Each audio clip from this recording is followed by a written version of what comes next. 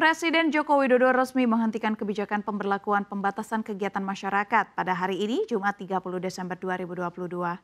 Keputusan itu diumumkan hari ini di Istana Kepresidenan Jakarta. Jokowi mengatakan kebijakan itu diambil setelah pemerintah mengkaji ulang angka-angka penanganan pandemi. Dia menyebut jumlah kasus COVID-19 di Indonesia kian menurun.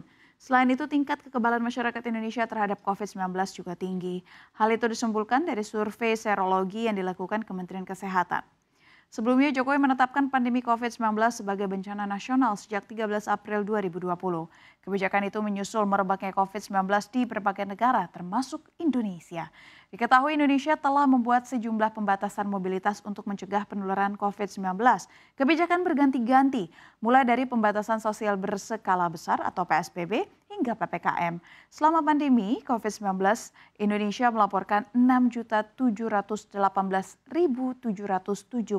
kasus dan sebanyak 160.583 orang meninggal dunia karena COVID-19. Pada hari ini pemerintah memutuskan untuk mencabut PPKM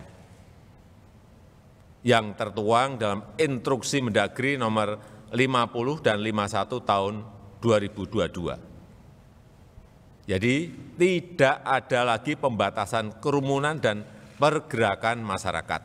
Namun demikian, saya minta kepada seluruh masyarakat dan komponen bangsa untuk tetap hati-hati dan waspada. Pertama, masyarakat harus meningkatkan kesadaran dan kewaspadaan dalam menghadapi risiko COVID.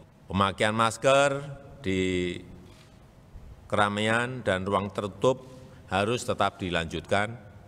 Kesadaran vaksinasi harus terus digalakkan karena ini akan membantu meningkatkan imunitas. Dan masyarakat harus semakin mandiri dalam mencegah penularan, mendeteksi gejala, dan mencari